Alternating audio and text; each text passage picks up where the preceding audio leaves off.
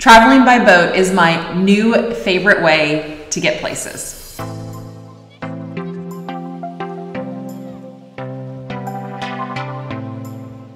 I have been talking a lot about the Emerald Coast, which runs along the Gulf of Mexico in the Florida Panhandle. And here is another reason why I love it here the access to the intra coastal waterway also known as the ICW, and I've been traveling along it a lot lately. First, I'm going to give you the formal definition of the intracoastal waterway.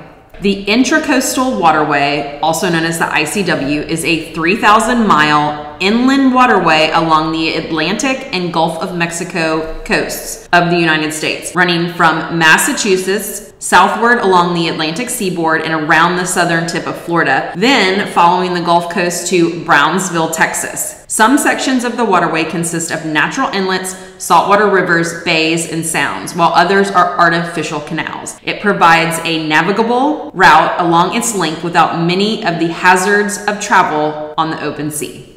Just to be a little bit more specific, on this map, I'm gonna show you exactly where it runs because it does break up in places, but for the most part, this is where you're gonna get the intercoastal waterway. Okay, first of all, it starts in Brownsville, Texas, and goes to Carrabelle, Florida, and that runs west to east. Then you hop across the Gulf from Carrabelle, Florida, and it starts up again in Tarpon Springs, Florida, which runs south to Fort Myers, Florida. Then you have to kind of hop out of the intracoastal waterway and it drops you down to the Keys. And then from the Keys of Florida, it runs the length of the eastern seaboard all the way up to Portsmouth, Virginia.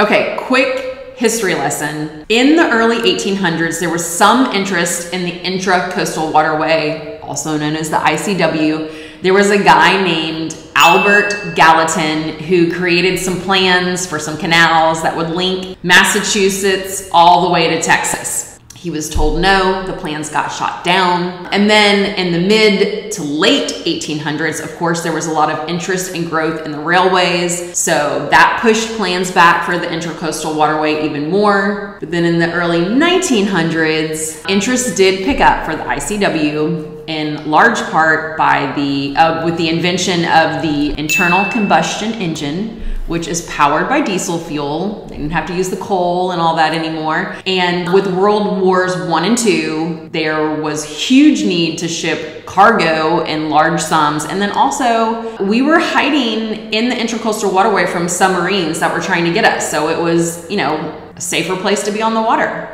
Today, the ICW is still used to ship or transport fuel, food, building products, any manufactured goods, etc., etc., etc. It is extensively used by recreational boaters. We are using it for travel, just to be out on and play on. It is absolutely beautiful. And like I said earlier in the video, it is right now my number one way that I like to travel. My husband and I had been talking about buying a cruiser or cruising kind of boat for, I would say, a, like seriously about two years now. And we attempted to buy one last year and we finally did it at the beginning of this year. I think we wrapped up the sale in February and we have been having so much fun. I just kind of want to go over some of the trips that we've done along the intracoastal waterway and just kind of show you how much fun and how beautiful it is and how accessible so many areas can be by way of boat. So our first trip on the boat was coming home from buying the boat. We bought it in South Florida. It was living or staying in Punta Gorda, Florida with a wonderful couple who is now retired and they did a lot of traveling on their boat. So we had to get the boat back here and we didn't want to hire someone to drive it home. We decided to make an adventure out of it and we brought it home ourselves. We took our great friend Larry McNally with us to help us get it across the Gulf because we had to take that route. But what we did is we picked up the boat in Punta Gorda, Florida, which is really cool down there, and we came up through the intracoastal waterway on the, I guess it would be the west side of Florida, and it was awesome. We stayed our first night in Bradenton, Florida. Along the way from Punta Gorda, Florida to Bradenton, Florida was amazing. There's all these different cities and towns, there's bridges and dolphins and people and boating, and it was just so beautiful. They had mangroves, they were everywhere, and it was so cool. I really loved seeing that side of Florida. We did have to call a couple bridges and have them lift. There was a lift and then there was also a swing bridge. So that was cool and interesting as well. We stayed the night, like I said, in Bradenton, Florida, which was really cool. And then we boated up to Clearwater the next day. Great marina, great town, so much fun. So we left Clearwater, Florida just before sunrise. It was absolutely gorgeous to cross the Gulf of Mexico. From what I understand, it was an incredibly easy crossing. I think we had maybe waves or seas up to two feet, but not really that much. It was mainly like flat and seas up to one feet. So I had a, a very easy crossing for my first time. We came in through the Dog Island Pass, which is right there by Apalachicola. We headed over to Apalachicola and anchored up at their marina, one of their marinas there for the evening. Apalachicola is one of our favorite towns along the Emerald Coast. So we, we had a good meal and got a good night's sleep and we got up the next day. It was very foggy out out, but we ended up making it all the way home that next day. I think it took us about eight hours to get from Apalachicola to Destin, Florida in that one trip. We went the length of the Intracoastal Waterway from Apalachicola to Destin. It was stunning. It was gorgeous. I was blown away. I had never been on that part of the ICW. And um, just to kind of give you a little tip from Destin to either Port St. Joe or Apalachicola, you can do that easily in a day day. Okay, the next trip that we did along the Intracoastal Waterway was to Fort McRee, which is part of Pensacola. We went during spring break, our son's spring break. We went over for a couple nights. It took us about four hours to get there. And again, we traveled the length of the Intracoastal Waterway from Destin further west. It's absolutely beautiful over there. They have Fort Sumter on one side and Fort McRee on the other side, which is where we stayed. We had a great time. It was a quick trip. And, you know, we just cruised home when we were ready to go and at a slow pace. And I think it took us about six hours to get home, but we were fine going slow and just enjoying the beautifulness and peacefulness of it all. So, a little tip on traveling west from Destin I would say you could get to Perdido Key in about four to six hours, depending on your travel speed. And then you could probably get over to Fairhope in Alabama. It would probably take you the day. I'm gonna guess, I'm gonna say that's a, probably about an eight hour boat ride heading in that direction.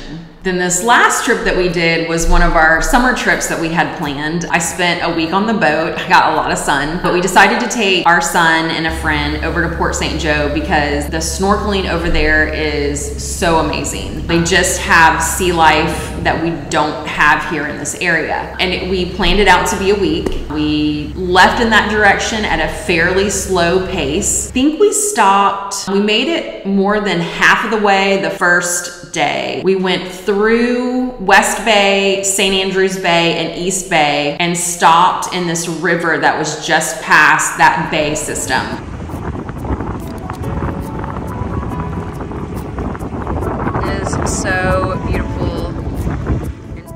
Now, again, we're traveling the intracoastal waterway. It's beautiful. While some of it's man made canals, you do go through natural bodies of water, which was a huge part for us on that first day. But where we anchored up the first night was absolutely amazing. Gorgeous, gorgeous, gorgeous. We got up the next morning. It was pretty early. I watched the sunrise. Then we headed out, making our way to Port St. Joe.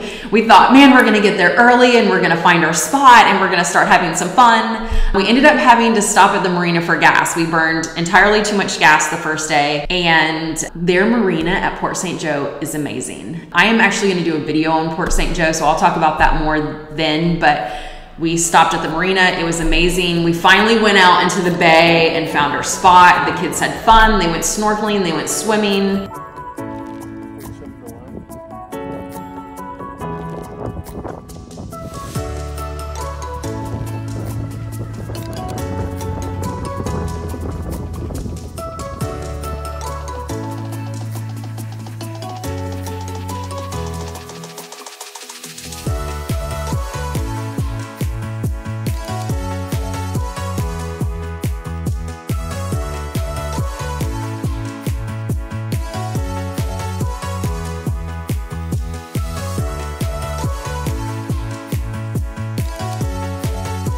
And then we actually traveled to a different spot to anchor up for the evening. Come on, guys, quit fucking around there. You're making this not fun all of.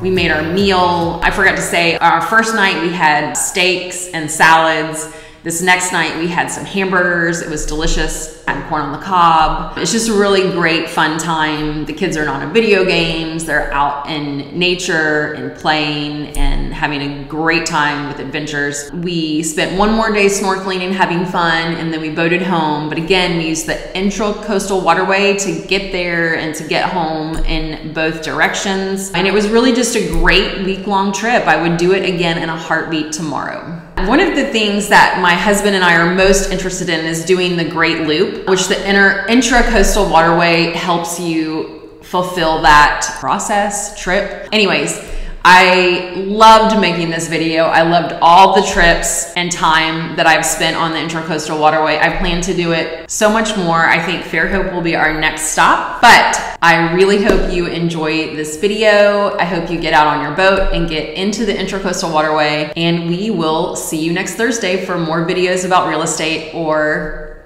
Destin, Florida. Bye.